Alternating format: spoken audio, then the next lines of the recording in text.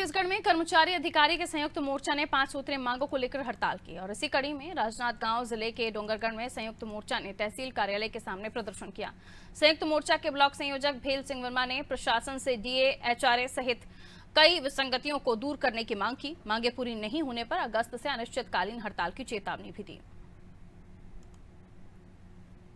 कर्मचारी अधिकारी संयुक्त मोर्चा के तत्वाधान में एक दिवसीय धरना प्रदर्शन कर रहे हैं। हमारी मांगे, पाँच मांगे हैं, जो कि शासन ने पूरी नहीं की है। पहला है हमारा डीए का महँगाई भत्ता का केंद्र के समान। केंद्र बयालीस प्रतिशत दे रही है, जबकि हमें अड़तीस प्रतिशत, अभी कल घोषणा हुई है, उसके अनुसार से अड़तीस प्रतिशत हुआ है। अभी हम फिर भी चार प्रतिशत पीछे है। दूसरी मांग है एचआर की। एचआर केंद्र सरकार सातवें वेतनमान पर दे रही है, जबकि हम लोगों को छठवें वेतनमान पर दे रहे हैं। हमें इससे लाखों रुपये का नुकसान हो रहा है। इसी तरह से हमारा ओपीएस का है, जो कि नियुक्ति तिथि से होना चाहिए। इस तरह से हमारी पाँच सूत्री मांग है।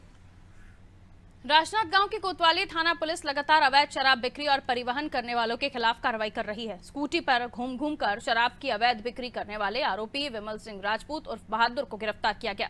आरोपी के कब्जे से दो सफ़ेद बोरी, शराब और एक एक्टिवा स्कूटी बरामद की गई। पुलिस ने दिशा निर्देश और मार्गदर्शन में लगातार ज़िले में अवैध शराब के खिलाफ कार्रवाई जारी है।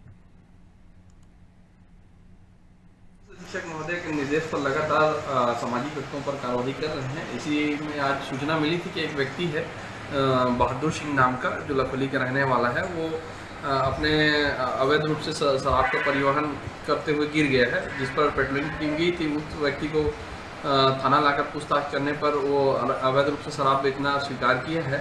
उक्त आरोपी का कृत्य आबकारी एक्ट चौंतीस दो के तहत आने पर आरोपी को विधिवत गिरफ़्तार किए हैं। आज मान उसके कब्जे से 107 नग शराब जब्त किए हैं, जिसकी अनुमानित कीमत बारह हज़ार रुपये है और साथ में उसकी स्कूटी को जब्त किए हैं, जिसकी कीमत लगभग चालीस हज़ार रुपये है। उक्त आरोपी का कृत्य चौंतीस दो आबकारी के तहत आने पर उसे विधिवत गिरफ़्तार करके मान्य